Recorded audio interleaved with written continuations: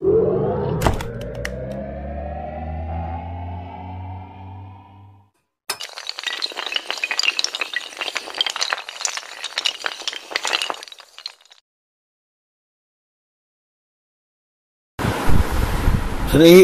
வீத்தராகாய நமகா ஜெயின ராமாயணம் தொடர் எண் இருபத்தி இரண்டு. வணக்கம் பவ்யர்களே. நேற்றைய தொடரிலே நாரதனுடைய பிறப்பை பற்றி அறிந்திருக்கிறோம். அவன் தேவ ரிஷி பிரம்ம ரிஷி என்றெல்லாம் போற்றி பாராட்டப்பட்டிருக்கிறான். அவர் இளம் வயதிலேயே அந்த சமரன் என்கிற வானவன் தேவர் எடுத்துக்கொண்டு போய் அவனுடைய அவனுடைய நல்லூர் காரணமாக அவருடைய கண்ணிலே பட்டான். இந்த நாரதரை எடுத்துக்கொண்டு போய் நன்றாக பல கலைகளையும் அறநூல்களையும் கற்பித்திருக்கிறான். வித்யா அபிவிருத்தி செய்திருக்கிறான் என்றெல்லாம் குறிப்பிட்டிருக்கிறேன். இப்போது அவன் நன்றாக வளர்ந்து வாலிபன் அல்லது பெரியவனாக ஆகிவிட்டான். பல இடங்களுக்கும் சென்று அருகனை வழிபாடு இயற்றி கொண்டு இருப்பதை தன்னுடைய அன்றாட கடமையாக கொண்டிருந்தான். இல்லற நெறியிலேயே அவன் குணஸ்தானத்தினுடைய பதினோராம் நிலையை பின்பற்றக்கூடிய அளவிற்கு அவனுடைய பாதை ஒழுக்க பாதை மிக சிறந்து முன்னேறி கொண்டிருக்கிறது வளர்ந்து கொண்டிருக்கிறது என்று கூட இந்த கதையில் குறிப்பிடப்பட்டிருக்கிறது என்பதையும் நான் உங்களுக்கு தெரிவித்திருக்கிறேன்.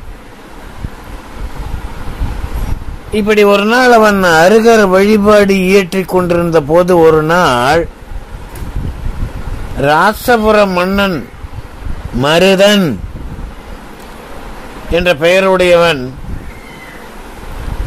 யாகம் செய்ய துவங்குகிறான் துவங்குகிறான். அப்படி துவங்கிய அந்த இடத்தின் மேலே வான் வழியாக நாரதர் சென்று கொண்டிருக்கிறார்.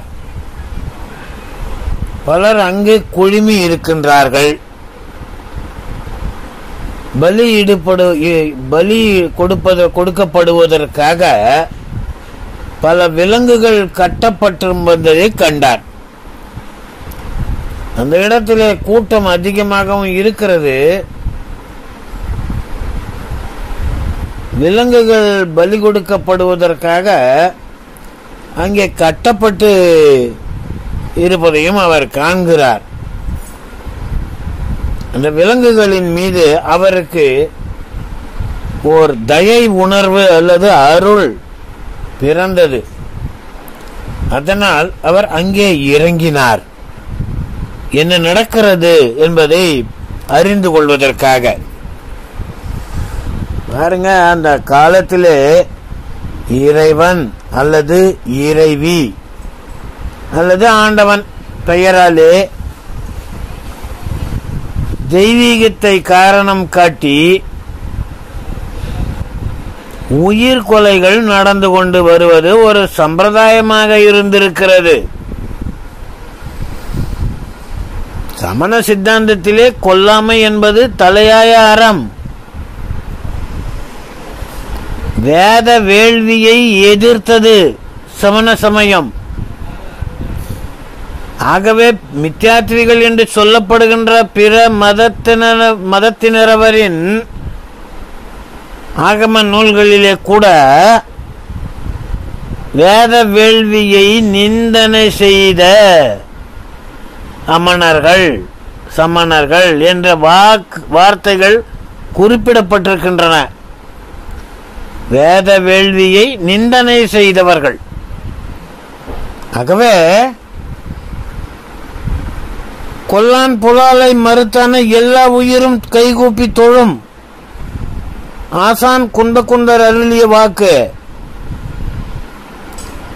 அதன் அடிப்படையில் பார்க்கிற போது அந்த அஹிம்சா பரமோ தர்ம வாழு விடு. இந்த கோட்பாட்டை கடைபிடித்த முதல் சமயம் சமணம். அது வந்து தலையாய சித்தாந்தம். அது வந்து பின்பற்றுகின்ற ஒரு தலை சிறந்த ரிஷியாக குணஸ்தானத்திலேயே இல்லறத்திலே இருந்து பதினோராம் நிலையை அடைகின்ற அளவிற்கு ஒரு ஒழுக்க சீலராக வாழ்ந்த இந்த நாரதர் அந்த நிகழ்ச்சியை காண்கிற போது எப்படி கண்டுகொள்ளாத மாதிரி போக முடியும்? அதனாலே வான்வழியிலே சென்று கொண்டிருந்த அவர் கீழே இறங்கிவிட்டார். மருத மன்னனிடத்திலே சென்று அந்த ராசபுர மன்னன் மருதன் அவனிடத்தில் சென்று மன்னா உயிர் கொலை செய்வது தீய பிறவியில் கொண்டு போய் சேர்க்கும். இது உமக்கு தெரியாதது அல்ல. தெரிந்தும் இந்த கொடிய திரியத்தை நீ ஏன் துவக்குகிறாய்? அப்படின்னு கேட்கிறார் அதற்கு மருதன் அந்த மன்னர் நாரதரை நோக்கி சம்வர்த்த பிராமணன் சம்வர்த்த பிராமணன். எல்லா அறநூல்களையும் பயின்றுள்ள பேரறிவாளன். அவனே இந்த யாகத்திற்கு தலைவன். அவன்தான் இந்த யாகத்தை முன்னின்று நடத்துகிறான். அவனிடத்திலே சென்று கேளுங்கள் என்று கூறினான். எனவே நாரதர் சம்வர்த பிராமணனிடம் சென்றார். என்ன அப்படின்னா? சம்வர்த அப்படி சொன்னா அழகிய சம்மன்னா அழகியன்னு அர்த்தம். அல்லது சிறந்த அப்படின்ற அர்த்தம். சமயக் ஞானம் அப்படி சொல்றோமா? அதுதான் சிறந்த ஞானம். சம் அப்படி சொல்லக்கூடிய ஒரு வார்த்தைக்கு சிறந்த அல்லது அழகிய போற்றத்தகுந்த இப்படின்ற பல பொருள்களை சொல்லலாம். வர்த வர்த சொன்னா வளர்ச்சி உடையவன் செல்வம் உடையவன் பேறு பெற்றவன் சகல ஐஸ்வர்யம் உடையவன். இப்படியாக பல்வேறு பொருள் சம்வர்தன். அப்படின்னா அது வந்து தமிழ் சொல் கிடையாது. அல்லது தமிழ் சொல்ல எடுத்துக்கிட்டாலும் அதுக்கு பொருள் ரொம்ப தெரியறது கஷ்டம். அதனால தான் அதுக்கான அர்த்தத்தை நான் ரொம்ப இவ்வளோ தூரம் சொல்கிறேன் சும்மா சம்வர்த்த பிராமணன் சம்வர்த்த பிராமணன் சொல்லின்னு போயிட்டாக்கா என்ன தெரிய? அதனால தான் சம்வர்த்த பிராமணன்னா அது வந்து ஒரு இனத்தை குறிக்கிற சொல். அதனால சம்வர்த்த அவன் பேர் வந்து சம்வர்த்தன். சம்வர்த்த பிராமணன் இருக்கிறார்ப்பா அவர் தான் யாகத்தை கிட்ட இருந்து நடத்துறாரு. அவர்கிட்ட போய் நீ இந்த விளக்கமெல்லாம் கேளு அப்படின்னு மன்னரே சொல்லிட்டார். அதனால நேர சம்வர்த்த பிராமணன் கிட்ட போறார். பெரியவரே நீங்கள் கொடிய செயலை செய்கிறீர்கள்.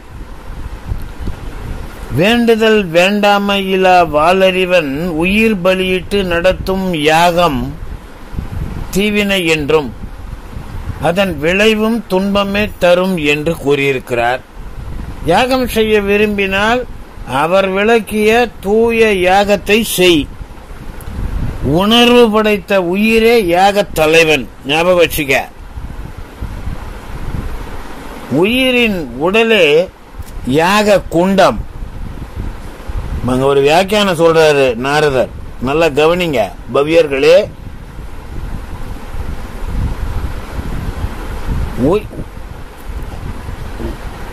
அவர் வி- அவர் அவர் விளக்கிய தூய யாகத்தை செய். யாரே? வாலறிவன். வேண்டுதல் வேண்டாமை இல்லாதவன். முழுதுணர் ஞானி. முக்காலம் உணர்ந்தவர். மூவுலகம் அறிந்தவர். அவர் சொல்ற அந்த யாகம் செய்ய விரும்பினால் அவர் விளக்கிய தூய யாகத்தை நீ செய். உணர்வு படைத்த உயிரே யாகத்தினுடைய தலைவன். உயிரின் உடலே யாக குண்டம். உள்ளத்தின் நிறைவே அகைப்பை. அதாவது தர்ப்பை போன்றவை. பற்று என்பது ஓமம் செய்யப்படுகிற பொருள். அப்ப இதெல்லாம் நீ யாகத்துல போட்டினா எல்லாம் சிதைந்து போய்விடும். அல்லது நாசமாகிவிடும். பற்று. பற்றுல நாசமாகணும் இல்ல அதுதான் வீத்தராக். வீத்தராகி அப்படின்னு சொல்றது. வீத்தனா அற்று. அந்த பற்று அற்று போக வேண்டும். ராகுன்னு சொன்னாக்கா பற்று. விருப்பம். அப்ப விருப்பம் இல்லாத நிலை. அதுதான் அவர் வந்து பற்றெல்லாம் கூட நீ வந்து யாகத்துல போடணும். ஓம குண்டத்துல போடணும். அப்படின்ற அர்த்தத்தில் சொல்றார். பற்று ஓமம் செய்யப்படும் பொருள். அருளே காணிக்கை. நடுநிலை நோக்கு. சமதாபாவம். அது எதுன்னு கேட்டீங்கன்னா பிராணாயாமம். அது தியானத்தின் மூலமாக நீங்க செய்யும்போது அது பிராணாயாமம் செய்வது வந்து ஒரு அது உள்ள ஒரு பகுதி. அப்ப நடுநிலை நோக்கே பிராணாயாமம். சமதாபாவம் மெய் உணர்தலே யாக குண்டத்துக்கு அருகிலே நிறுத்தப்படுகிற கம்பம். ஓடி திரியும் உள்ளமே அதிலே பிணைக்கப்படுகிற விலங்கு. புலன் இன்பங்களே எரிக்கப்படுகின்ற விறகு. தவமே ஓமை. இத்தகைய யாகமே நல்லற யாகம். இதை விடுத்து இத்தகைய யாகமே நல்லற யாகம். அதன் பயனே வீடு பேரு இதனை விடுத்து நீ தீவினையை சம்பாதிக்கின்ற தீவினையை மேலும் மேலும் சேகரித்து வைத்துக் கொள்ளக்கூடிய ஒரு யாகத்தை செய்கின்றீர்கள் என்று சொன்னால் அதில் என்ன பிரயோஜனம் இருக்கிறது? என்று விளக்கி கூறி அவர் கேட்கிறார். இதை கேட்ட சம்வர்த்த பிராமணன் நாரதர் மேல கோபம் வந்துருச்சு அவனுக்கு. வெகுண்டு பலரோடு கூடி கும்ப சேர்த்துட்டான் அவன். அவரை அடித்து துன்புறுத்துகிறான். வேவு பார்க்கறதுக்காக அந்த நேரம் அங்க வந்திருந்த ராவணனுடைய தூதன் ஓடோடி சென்று ராவணனுக்கு இதை அறிவித்தான் எல்லாரும் சேர்ந்து ஒருத்தனை ஒரு பெரிய ஒரு முனிவர் மாதிரி இருக்காரு. அவரை போட்டு அடி அடின்னு அடிக்கிறாங்கள பிராமணனுங்க அப்படின்ற விஷயத்தை. அந்த வழியாக ராவணன்ல அவனுடைய தூதுவன் ஒருவன் வேவு பார்க்கறதுக்காக வந்தவன். அவன் போய் இந்த நிகழ்ச்சி நடக்குதுன்றதை அவன் சொல்லிட்டான். ராவணன் இடத்துல உடனே ராவணன் தன் படையுடன் விமானத்திலே அங்கு வந்தடைந்தான். முதலில் ராவணன் நாரதரை பகை கொண்ட பிராமணர்களிடத்திலே இருந்து விடுவித்தான். பிறகு அங்கிருந்த விலங்குகளை எல்லாம் கட்டவிழ்த்து விடுவித்தான். மருத மன்னனையும் பிராமணர்களையும் சிறை பிடித்தான். பிராமணர்களை படை வீரர்கள் அடித்தார்கள். அதனால் அவர்கள் கதறி அழுதார்கள். படை வீரர்கள் அவர்கள் கதறலை எடுத்துக்காட்டி அவர்கள் போன்று அல்லவா விலங்குகளும் துன்பத்தால் கதறியிருக்கும் என்று சுட்டிக்காட்டி சுட்டிக்காட்டி அடித்தார்கள். நாங்கள் உன்னை தாக்குகிற போது நீ எவ்வாறு கதறுகிறாய்? இது மாதிரி தானே வாயில்லாத ஜீவன்கள் கூட கதறும். இது ஏன் சிந்திப்பதற்கு உனக்கு அறிவில்லை என்று அந்த பிராமணர்களை பலமுனை தாக்குதல்களால் அவர்கள் செய்தார்கள் அடித்தார்கள் துன்புறுத்தினார்கள். பிராமணர்கள் அப்போது அவர்கள் உணர்வு பெற்று எங்களை விட்டுவிடுங்கள் இனி இந்த மாதிரியான தீய செயல்களை செய்ய மாட்டோம் என்று மன்றாடி கேட்டார்கள். மருத மன்னனும் ராவணனுடைய தாள்களிலே வீழ்ந்து வணங்கி மன்னிப்பு கேட்டார். இந்த தீய செயலுக்கு நான் ஆதரவு கொடுத்து இரு ஆதரவு கொடுத்திருக்கிறேன். என் என் பக்கமும் தவறு இருக்கிறது என்பதை மன நினைத்து சிந்தித்து மனம் வருந்தி அழுதான். மன்னிப்பு கோரினான். நாரதர் வேண்டுகோளுக்கு இணங்கி ராவணன் உன் உன் உன் உயிரை போல பிற உயிர்களையும் நினைக்க வேண்டும். அப்படின்னு அறிவுரை சொல்லி எல்லோரையும் விடுவித்தான். மருத மன்னன். கனகப்பிரபா என்ற தன் மகனை ராவணனுக்கு திருமணம் செய்து தந்து அவனோடு நல்லுறவு ஏற்படுத்திக் கொண்டான். ராவணன் இந்திரன் மீது படையெடுத்து செல்வதை மீண்டும் தொடர்கிறான். ராவணன் மதுரா நகரத்து அறிவாகன் மகன் மது என்பானுக்கு தன் மகள் கிருதசித்ராவை திருமணம் செய்து தந்தான். பிறகு கைலாச மலையை அடைந்து அங்கே வாலி முனிவரை எண்ணி எண்ணி நினைத்து அங்குள்ள கோயில்களுக்கு சென்று வழிபாடு ஏற்றினான். இப்படியாக நாரதர் சரிதம் ஒரு விதமாக முடிகிறது பவ்யர்களே. பலி என்பது உயிர் கொலை என்பது சமணர்களுடைய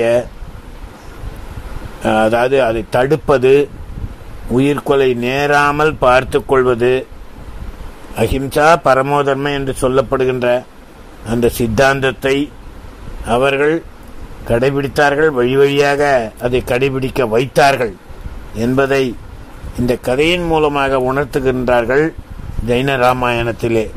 பதிர்களே இதை படிக்கின்ற போது எனக்கு ஒரு நினைவு வருகிறது. அதை உங்களோடு பதிவு செய்து கொள்ள விரும்புகிறேன். ஆயிரத்தி தொள்ளாயிரத்தி முப்பதுகளில் திருப்பரம்பூரை சார்ந்த திருமிகு ஜீவபந்து ஸ்ரீபால் என்பவர்கள் கூட இந்த உயிர்கொலையை கடுமையாக எதிர்த்தார். பவியர்களே அந்த சித்தாந்தத்தை வலியுறுத்தி திருவற்றியூர் பெரியபாளையம் போன்ற எண்ணற்ற ஆலயங்களிலே மித்யாத்ரிகளின் ஆலயங்களிலே இந்த மாதிரியான பலிகள் நடத்தக்கூடாது என்று உண்ணாவிரதம் இருந்து போராட்டம் இருந்து ஆர்ப்பாட்டம் எல்லாம் செய்தவர் அந்த பெரியவர். சமணத்தில் இன்றைக்கு அவரை மாதிரி பலிவதையை தடுத்தவர் யாரும் இல்லை என்ற செய்தியை இங்கே பகிர்ந்து பதிவு செய்து அவரது முழு முயற்சியினாலே தமிழக அரசு சட்டமன்றத்திலே பலிவதை தடை சட்டம் என்று ஒன்றை கொண்டு வந்தது. அதற்கு பிறகு ஐம்பது ஆண்டுகளுக்கு பின்பு மீண்டும் மித்தியாத்துவத்தினுடைய ஆதிக்கத்தின் காரணத்தினாலே அந்த தடை சட்டம் பலிவதை தடை சட்டம் ரத்து செய்யப்பட்டது என்று சொல்லப்படுகிறது. இருந்தாலும் ஐம்பது ஆண்டுகளுக்கு மேல் இந்த பலிவதை தடை சட்டத்தினாலே பலிவதைகள் அருகி போய்விட்டன என்பது மகிழ்ச்சிக்குரிய செய்தியாக பதிவு செய்து இந்த தொடரை நிறைவு செய்கிறேன். நாளை சந்திக்க வருகிறேன். நற்காட்சியாளர் நண்பர்களே நன்றி வணக்கம். ஜெய் ஜினேந்திரா.